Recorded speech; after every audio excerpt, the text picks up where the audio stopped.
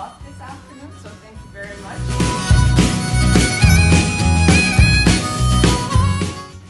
To conclude, what factors can explain the emergence, persistence and decline of the truck system in the late 19th century and early 20th century? Well, the truck system was a practical solution for Louisiana planters and peat laborers to resolve financial difficulties they faced. It functions in two ways, as a carrot and as a stick. Peat laborers and plantation laborers lacked the economic and social power to resist the truck system.